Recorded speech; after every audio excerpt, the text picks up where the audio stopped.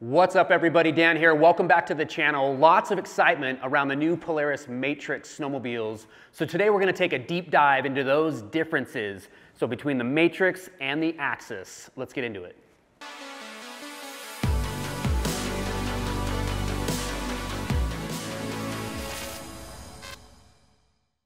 So many of you guys have already seen, maybe even been on the new Matryx snowmobiles.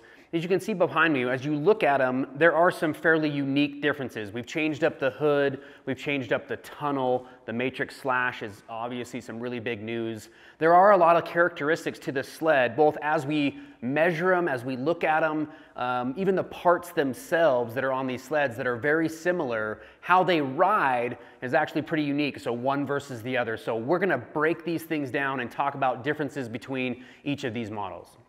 All right, so as we take this dive into these differences, we'll start with what we know is the same. So what's gonna cross over? You can see here we've got a 2021 Axys 165. We'll start with the front end. So the gripper two's the same. Spindles the same. Ski rubbers themselves the same. Uh, slight difference with the ski loops, and we'll get into that when we get onto the Matryx side. Just kind of freshen those up, gave them a new look, but essentially the same. No performance gain there. Um, suspension itself, so going with the velocity shocks, both front and rear suspension, the shocks themselves, the same. Upper and lower A-arms, the same. As we move back, because we got a lot of changes going on from here, uh, don't have all the data, but the way the interior looks, the bulkhead, the motor mount, like everything in there looks all essentially identical. Probably some really minute changes just to update a few things, but most of that internally is the same. Obviously all new different stuff as we go back onto the Matryx, but under here guys, same Series 8 275 track if that's what you ordered, and then same rear suspension as well as those shocks. So that kind of takes care of what we're seeing from the Axys. What we know is very similar or if not exactly the same as we jump over to the Matryx snowmobile. So now that we're over here, again, we've got some updates here. You can see some kind of cool stuff there going on with the ski loops, same ski rubbers, most of that stuff, even exact same part numbers. Spindles, upper and lower, the velocity shocks, all of that staying the same. But right away, some pretty drastic aesthetic changes here. And I say that because bulkhead potentially the same with a whole lot of new plastics. And because of those new plastics, a slightly different front bumper, obviously new hood and everything else. But there are some components and even as we dive into how these things feel when you ride them that are very, very similar, which I think is great because we don't want to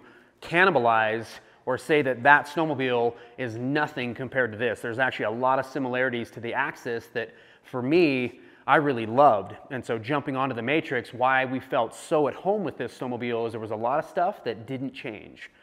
But going on to the changes, different nose cone, different, slightly different front bumper, the hood, the new LED headlight, the whole new console, the side panels now with these large quarter turns, which makes getting in and out of the snowmobile when you've got to access pipe can, clutching, your muff pot, just overall looking and inspecting of the engine, it's certainly uh, an update. So they made some changes and they made some great changes. As we move back onto here, you'll notice that we've got a glove box now or whatever you want to put in that box right here in front of the gauge. Big news is the new 7S display. So this gauge, guys, to me, we made a big deal this year about turbos. We made a big deal about a lot of these things. Well, the technology piece of this and this gauge is just unreal. And I don't think any of us truly know just how awesome this gauge will be in terms of checking on the snowmobile and its parameters, being able to check on our riders using ride command and all of those things, having that GPS function, and then obviously just having a really clear display that as I'm riding, I'm not kind of having to lean in on it and look to see what my engine temp was or where I was at RPM. So for guys that are tuning and guys that are just really wanting to pay attention to all things that are happening with the sled, the 7S display was a huge update to the new Matryx snowmobiles. Moving back on the sled, you can see it totally different console. The pole start and where it comes is kind of from the same spot. I, for one, where the key is at, have gone over my handlebars looking for the key like it was on the Axys snowmobiles a hundred times already. The key kind of tucked down in here out of the way. Uh, I think that's an awesome spot for it. Another big news, guys, is that we are coming with a factory tether. So that's so awesome, kind of about time, right, that Polaris has done this. I think a lot of research went into this, but we finally have a tether. It's kind of right in the center of the console. It's protected. I'm super excited. You'll notice that we've got our handlebar bags, the Skinz Next Level Pac-Man bags on both of these snowmobiles. Awesome to know that because the handlebars didn't change, we were actually able to reuse some of that part, some of those parts from last season. But anyway, tether there, your mode button, all of those things right there. Handlebars themselves did not change, but the brake. So when we look at the new Matryx, we've got our new brake. It's a new Hayes brake. It's got an awesome spot for your index finger, your middle finger, or both. But the new brake, I think, is going to really help people. You guys have heard me say it a thousand times, and we're actually do some videos this year about how important it is to ride with that one finger on the brake so that you're ready to use it at a moment's notice. Well, having a really good brake lever, huge improvement. They did some differences here with the grips. Kind of remains to be seen with myself in terms of an overall opinion about the grips. And then they've kind of thinned out and kind of modded these bar ends just to lighten those up as well. As we move back onto the snowmobile, can't forget, and we already talked about some of this stuff in other videos, but the new uh, stirrups that are here that are adjustable. In fact, when you get the sled out of the package, they don't even come on it. And you've got three different spots where you can mount those for now. I've just put these all the way up in that forward upper position. Can you use toe loops? And the answer is I use them all the time and having them as an adjustable part now, it'll be interesting throughout the year to see if I wanted them all the way up and out of my way or if I want them down a little bit lower where I can really take advantage of using those. But nevertheless, Polaris kind of answering the call from I think a lot of people that have really big feet and they don't want anything to do with them. So the idea that you can put them all the way up and out of the way or heck, don't even put them on the sled if you're used to that type of riding. As we move back, our fuel tanks, both of these have stock fuel tanks. You guys have seen me with my Skinz tanks before. Unfortunately, just because of the new model sled, don't know if we'll see a lightweight modded fuel tank. But in stock form, about that 11 point, they always use 11.3 or 11.2, somewhere around 11 gallons of fuel. You will notice that the tank design, it was, it was, it was shallow. So they weren't able to use the you know, back from the early 90s fuel cell where we've got the cork in the bottom of it and that's how we got our fuel. Now this is obviously done all digitally. So when you start your sled, whether you have the 7S or the standard gauge, you'll actually see your fuel there, but it's now digital. So, and I can tell the engineers weren't that excited about being able to do that, but because the old fuel and the way the tank sat in there, you'd put that old cap in there and you'd have about this much of the cap sticking out. So different fuel cell, this seat and then the overall design of the fuel tank, huge changes here. So big, big differences. And to the, to the mountain rider, this is awesome. So this idea that we ride a bit narrower, we can still use the inside of our legs and, and, the, you know, and our knees and everything else to kind of pinch the snowmobile a bit like that motocross style. But the seat is super lightweight, it's very minimalistic, and a lot of us had to seek the aftermarket to get something like this, and it's so cool that as a option, uh, actually not even as an option, as a factory standard feature to the Matryx, you've got this narrow seat followed by that 11 and a half or 11 point something gallon tank. New running boards, running boards are about the same as they've uh, been before. We're gonna grab a tape measure and we'll start measuring some of these things just because I feel like that info will be great for you guys to see. But running boards look very similar in terms of the way they mount going back onto the tunnel. The tunnel itself, so the tunnel between these two, drastic changes, all right? The Matryx is new. Uh, this is a new one-piece tunnel design. Again, you can get Matryx slash, and you can get the standard Matryx. And we'll go over that not only with a tape measure, but I'll just tell you, so Matryx slash is roughly about eight inches shorter than a standard Axys tunnel. And then the regular Matryx, that sort of in-season Matryx, is about three inches shorter. So those, those of us that we cut our tunnels from 16 all the way up through this last year, whether you were cutting three inches, eight inches, whatever it looks like, we now have a snowmobile that when you ordered and you snow checked a Matryx slash, you've got that cut tunnel option. Well, the slash part of that, we made a big deal about short tunnels, but what we didn't know and we didn't understand would be such a huge advantage was the actual taper to the tunnel. So as we come back here on the snowmobile, this portion of the tunnel that tapers in what does that mean and why is it so different? Well, not only is it a lightweight design, and we, we haven't even gone into our coolers yet, but overall feel of how it rides. When you ride with the Matryx Slash, remember that we have no more wheelie bar. There's nothing back there that we wouldn't have known until we made these changes. we wouldn't have known how much resistance we were actually getting from the snow we were riding in.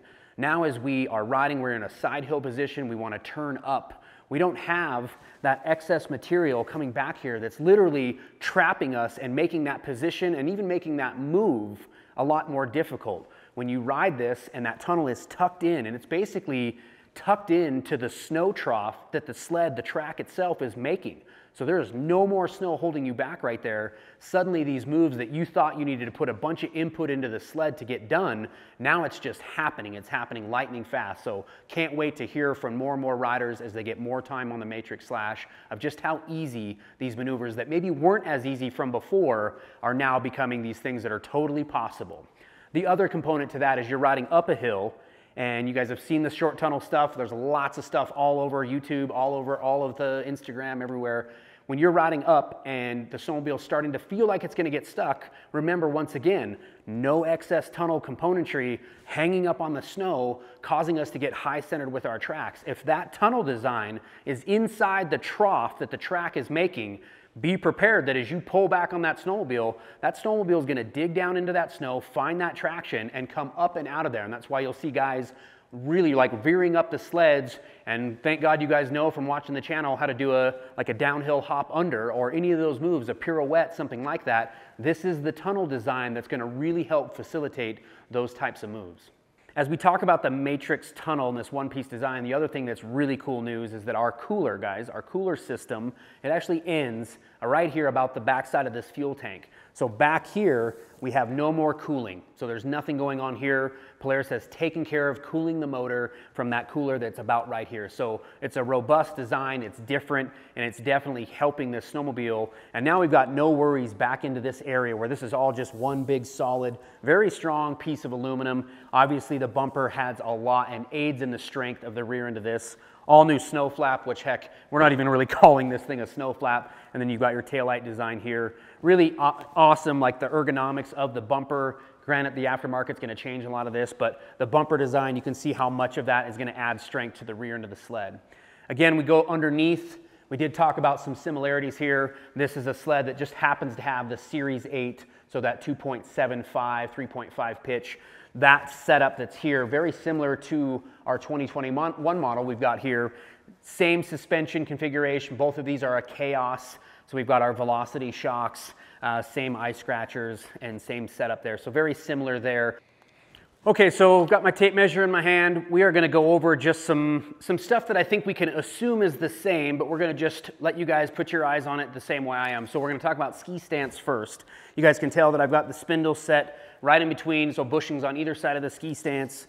So we're gonna put that through the center on the Axys snowmobile, and we are right there, center to center at that three foot mark. This is personal preference again, and I don't want to tangent off, but I'm essentially that guy that will put those right in the center. I feel like you get a lot of ski rubber life by leaving it into the center. I feel like that's where the ski rubber has the most purchase under the spindle, sits the nicest in the ski. So that's just a little tech tip for you. Not to mention, we want a balance. I want a balance of how easy the sled is to initiate and get onto its side, but also how stable it is at high speed. So that right in the center to me is kind of my favorite. So we're gonna come over here, we're gonna do the same thing just to confirm, and I can already tell you guys right there, we are exactly the same. So assuming that our ski stances are the same, set in that, and it's again a personal preference, but our ski stances are the same, upper and lower react front end, our shocks, our spindles, no changes there, guys. So besides the ski loop change, really nothing happening there. Big aesthetic changes as we go on. We are gonna weigh these snowmobiles and we'll see where those kind of, where they stack up to one another, one versus the other. But we'll move back. And here's one that I just saw. So watch this. So this is a, this is the black five inch low bar. So 47 and a quarter over here, right to that end and 46 and 3 quarters. So some small changes there. Could be the way it's sitting on the floor. There could be a little bit of variable there. It could also be in the roll of the handlebars, but we're really close in terms of black low bar on the Matryx snowmobile to black low bar on the Axys. Moving back where we know we're gonna see some drastic changes, as I were to butt into underneath the toe loop, right into that bracket right there, and I'm butting into that and come on all the way back, all the way to the tail end of the snowmobile with a factory bumper. This is showing 77 and a half inches. So that is a 165, not a cut tunnel. This is just from the Axys chassis.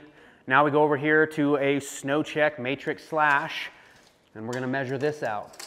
So button into that, coming all the way back here, guys, 71 inches. So we can see those massive differences and these two snowmobiles, even visually as you look at them, this thing looks like a short track because of that Matryx slash tunnel. So again, guys that were cutting tunnels on the Axys chassis to get it to feel like it was a short tunnel, long track, now we're getting it as a snow check option.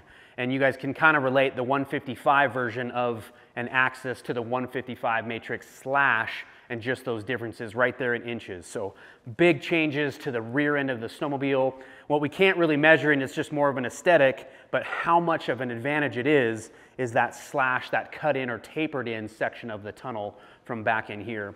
Our design right here will go from the running board up to the bar right here. And I'm just kind of angling that over. You guys can kind of see how I'm going to try to keep these the same. So that's showing 34 and 3 eighths again, right to the bar end there. So 34 3 eighths, and over here we are 34 and a quarter. So we're essentially there. So our riding position, why I'm doing that is I am pretty finicky. Once I get onto a snowmobile and it becomes sort of that avatar horse for me, I want to know that things are the same. And so even though as you look at this sled, it actually looks like it's sitting up off the snow or sitting up even off the showroom floor in here a bit taller, our measurements are right there within just a few, you know, an eighth or a quarter inch of each other, which I think is going to be important. So whether or not we need to make changes to that remains to be seen. Some other things, let's do let's go into the seat. So you can look at how drastic of a difference the older Axys model sled has with the seat. We've obviously pulled the under seat bag from here. This thing just kind of ends. So there is no under seat bag that's here. You can put a bag on there as an accessory, obviously on both of these ones. But as I kind of sight through the running board, hit the running board here, up to the top of the seat, kind of where I'd be seating, sitting, that's about 20 inches. As I come over here and do the same, I'm sighting through and I'm actually about 19 and a quarter.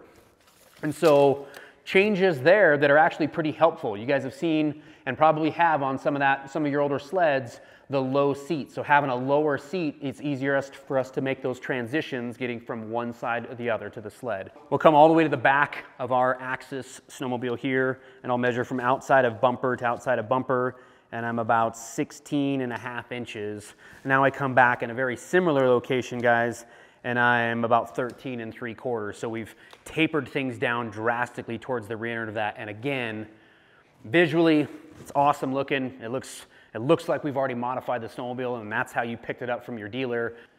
So we've taken our 2021 165 850 Khaos and we've, we've put it up in the air. Now, let's remember that instead of doing these where there's no fuel, there's no oil, there's no nothing, this thing, besides some tunnel packs and some other things is essentially ready to ride. So full tank of fuel, full of oil, uh, all of those things. So uh, nothing in the, in the bags right now, but I like doing these more of like a real world weight just so we can get a comparison. And you guys can see that we're just sort of at a dead hang there, 485 pounds. So again, full of fuel, full of oil, essentially ready to pull the rope and go. The other thing too, guys, that you guys know from videos in the past, what I consider sort of mountain stock is both of these sleds will have the SLP lightweight. So it's got the comp can with the cooker. You can see there's no other, no other details, no, no, no belt drive change, no nothing. So this was the two sleds that I found that were the closest in terms of both 165, both with the lightweight silencer on there. Clutching is the same, both full of fuel, full of oil. All right, guys, so we've got the new 2022 Matryx Slash 165. Before we show you the weights there, so again, we're gonna talk about this. Same full tank of fuel, full of oil. The oil in the reservoir, if we were doing this dry weight where you can just drain the whole oil and the fuel system, you can get a lot better, a lot closer within X amount of pounds of each other. So we are at 496 pounds. 165 Matryx Slash, uh, 275 track, same suspension. So here are the things that we can add. We went from that 485, so we're, we're about that 10 pounds. It kind of fluctuates between the 496 to the 495.5. oh my gosh, we're heavier, right? Well, we're four pounds in the wrap. If you guys don't believe me, look back through the Next Level channel videos. We actually weigh one of these Arctic FX wraps and it's crazy that we, we always are so focused on weight, but the wraps look so awesome. This year it's such a full coverage wrap that guaranteed we've got some pounds just in the wrap, which the other sled didn't. Um, the other things about the Matryx is we're talking about the differences between the Axys and the Matryx is the 7S display. The display in itself, I've pulled the display up and out of the hood and the display itself quite a bit heavier than the standard gauge. And then you've got the PID gauge as well. So the gauge in itself is heavy. The headlight, guys, the new LED headlight, and this headlight is, it's pretty state of the art. I mean, the thing absolutely puts out the light. A lot different headlight, and it's a lot heavier than where we were before. But being able to see is pretty dang important, especially, well, not too many of us riding out in the dark in the mountains, but for those Midwest guys that we have these short track versions of these, that LED light was pretty dang important. So some weight there. The other component to this that is adding, and you guys are already seeing these weights where we're gonna get right down to where we're even with that, is that each of these with that 7S display, and we'll show a shot of it, actually has a small battery. So picture a battery like in a dirt bike. It's got a battery in here that will run that 7S display, and it's so that your GPS and the functions of that, that GPS or that display can stay running just as you turn the key. You don't always have to have the snowmobile running to do that. So some battery weight, some weight in the wrap, as well as the gauge in itself. And the hood the new hood and just everything else with the airbox and everything is just a bit heavier than what we've had on the Axys sled. So hopefully you guys are seeing just how real world this is. I'm not protecting a thing here, just explaining myself to what these two sleds and just those significant differences that are there. And just to keep the video honest, so you guys know that I am being honest, know that this also has the cooker as well as the SLP comp can. So very similar setup, no changes to the belt drive, no changes to the clutching. So it's all Magnum Force weights. It's all the same clutching on both snowmobiles. So just wanted to point that out. This has been a lot of fun, you guys, going over all of the differences between the Axys snowmobiles and the Matryx snowmobiles. Really hope that the video was helpful. It was fun to go through, and even for myself, the sleds are so new. Taking a tape measure, using a laser line, weighing the snowmobiles, and just seeing just how different one sled versus the other is. Hopefully you guys thought it was awesome. Remember, you guys, support our channel and subscribe to it, and we'll see you next time.